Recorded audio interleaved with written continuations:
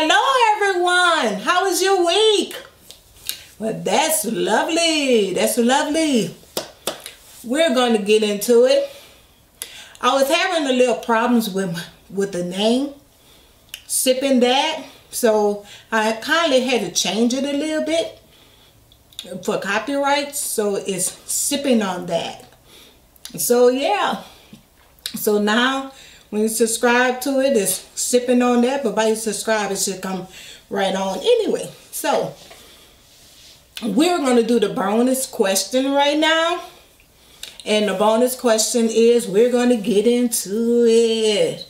Yes, and welcome back. And you know to subscribe to the channel, hit that bell. We done already been through that. And we're going to get started. Um, what's going around the internet right now, and I'm just throwing this bonus one in about T.I. and bringing his daughter to the GYN doctor and you know getting her checked once a year and everybody have their different views on that and at the same time this is just allegedly this is my assumption what my advice is and who knows everybody got their own different opinions but it's glad to hear difference in opinions and on my opinion is congratulations T.I.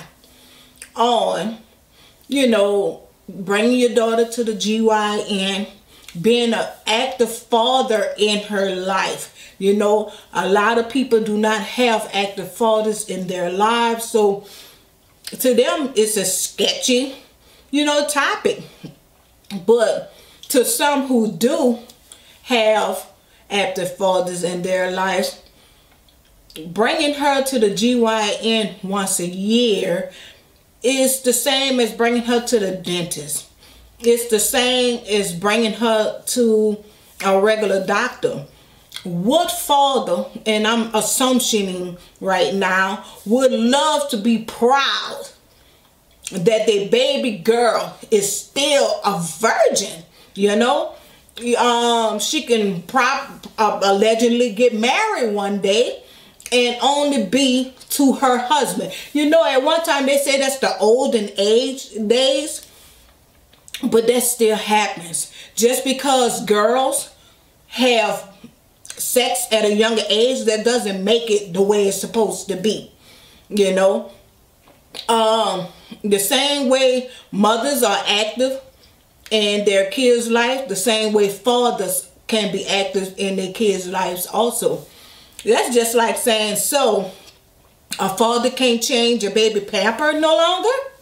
You know, if she um have pamper change as a baby, because he's a father, he can't change her pamper. What about if she become five, six years old and boo-boo on herself? And she need to get in the bathtub, you know? He got to run some water and put it in the bathtub. That means because he's the father, he can't you know, put her in the bathtub. But he goes once a year. She just turned 18. So he was doing it before she made 18. To make sure that she wasn't sexually active. Yes, he could have went by her word. That's true. But at the same time, he didn't go in there himself. A doctor did it. You know, so is it disrespectful for maybe, allegedly, a man doctor to stick his um to to do the procedure? Is it you know disrespectful for that that it was a male doctor? So I'm not understanding what's the big hype about a father walking into a doctor's office with his daughter to make sure that she's the woman that she's supposed to be in life. You know, she's not out here fast. That, you know, it's still intact. It's been checked. It's checked like any other thing on her body need to be checked. Like a CAT scan. Uh, uh, uh, my, um, uh, myogram, or what's that called, an MRI, you know, that's in the body. It's just another procedure that your children have to get checked for. I mean, just because he's a father, that mean he can't bring her? And again, he's not sticking his hands or doing the procedures to do it. Now let's talk about the HIPAA form that she had to sign. Maybe she signed it allegedly because she had nothing to hide. It wasn't that he violated her rights and, and he violated her that she didn't she was 18. She could have said no. Simple. No. He didn't scare her. The doctor was right there. She didn't have nothing to hide. He have a relationship with his daughter. Some men have a close bond with their daughter. And yeah, congratulations, T.I. You grown some be a beautiful daughter. You know, she's still a virgin. You know, she can marry one day allegedly to someone just being with her husband. And you did allegedly a good job with your daughter. Congratulations.